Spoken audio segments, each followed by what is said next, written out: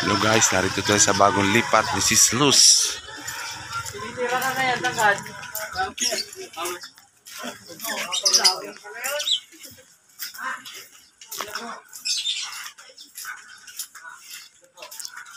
Yan guys, oh, yung kanilang nilipatan.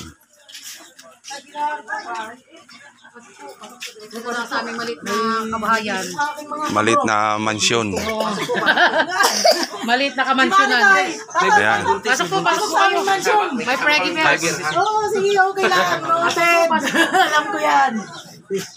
Pasok po kayo. Ito na kayo doon. Long time no hera.